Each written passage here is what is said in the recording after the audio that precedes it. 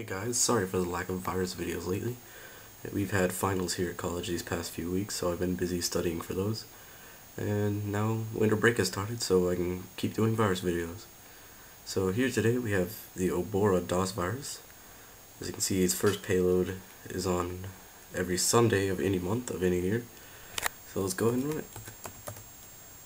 When you run it, it appears not to do anything, but it cycles the timer for about 10 seconds, and when it reaches a predetermined number of ticks on the timer, it runs its first payload, which is to clear the screen. And nothing on the keyboard affects this, and you have to restart your computer. So you can imagine working on your MS-DOS computer in the 90s, having to reboot every 10 seconds would get really annoying very fast. So it runs its second payload on the 22nd of any month.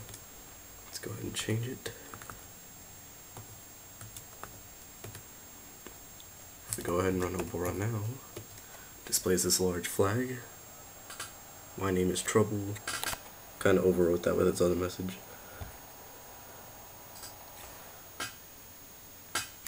And apparently that was also a Sunday on this year, so it cleared the screen. And after it displays the flag, it empties the CMOS memory, so when you restart you have to re-enter the master date and time for the computer. So as you can see, Obora would be pretty irritating, but Thankfully it doesn't delete any files.